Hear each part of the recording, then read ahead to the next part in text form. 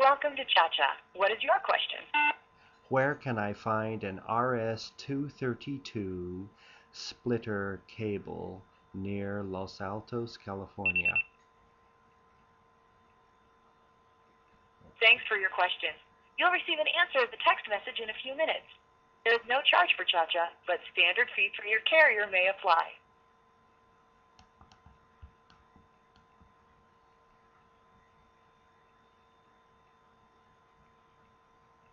Welcome to Cha-Cha. What is your question?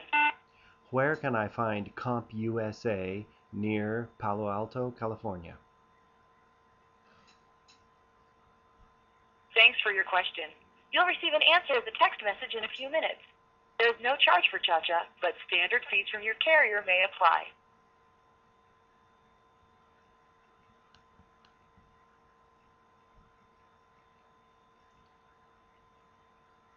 Welcome to Cha-Cha. What is your question?